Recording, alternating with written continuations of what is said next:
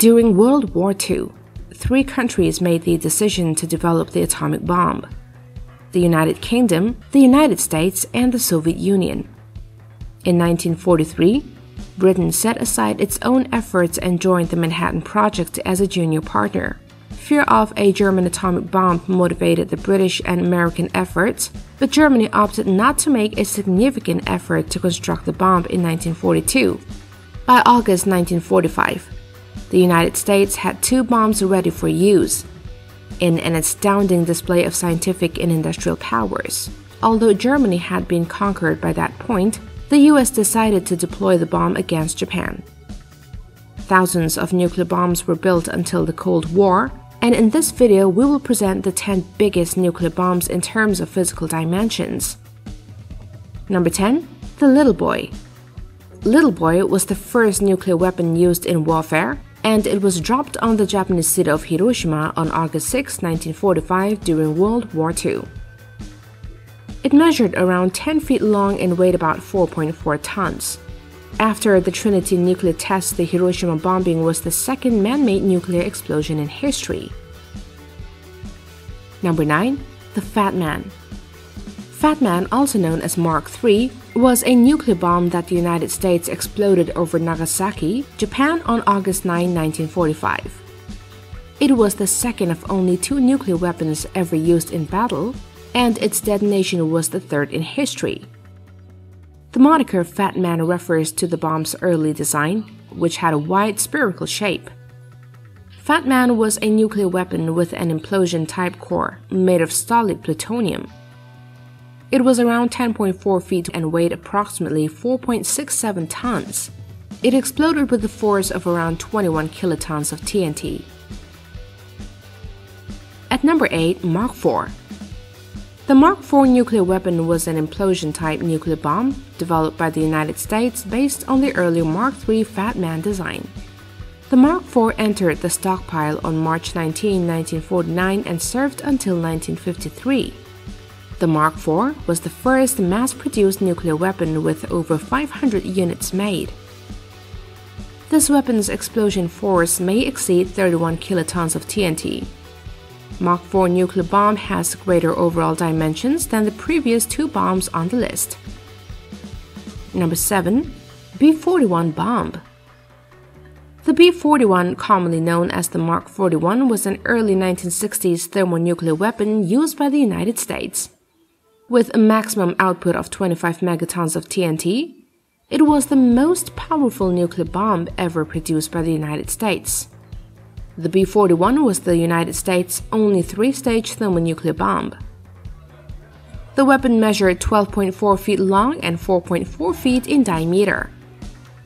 It weighed roughly 4.84 tons, and the B 52 Stratofortress and B 47 Stratojet were supposed to transport and drop it. Number 6. Mark 7 Thor The Mark 7 Thor tactical fission bomb was the first used by US forces. It was also the first weapon to use the toss method in conjunction with the low altitude bombing system, and Mark 7 was outfitted with retractable stabilizer fins to allow for external carriage by fighter bomber aircraft. Using different weapon pits, the weapon had multiple yields of 8, 19, 22, 30, 31, and 61 kilotons. Between 1700 and 1800, Mark 7 bombs were manufactured. The Mark 7 nuclear weapon was roughly 15.2 feet long and weighed 730 kilograms. At number 5, the Thin Man. The secret name Thin Man was given to a projected plutonium gun type nuclear device developed during the Manhattan Project. Its development was halted after it was discovered that the spontaneous fusion rate of plutonium produced in nuclear reactors was too high for use in a gun type design due to the high concentration of the isotope plutonium 240. Thin Man was 17 feet long, with tail and nose assemblies that were 3.1 feet broad. The final weapon variant weighed about 3.6 tons. At number 4, Mark 17. The Mark 17 was the United States' first mass-produced thermonuclear hydrogen bomb. It entered service in 1954 and was commissioned by 1957. Mark 17 was carried by B 36 and was extraordinarily huge and heavy by today's standards. It was 24.10 feet long, 3.5 inches thick, 5 feet 2 inches in diameter, and weighed 21 tons. The Mark 17 produced 15 megatons of TNT. Between October 1954 and November 1955, approximately 200 of these bombs were manufactured. At number 3, the flashback. The flashback bomb is the forgotten nuke. Everyone has heard about Fat Man and Little Boy.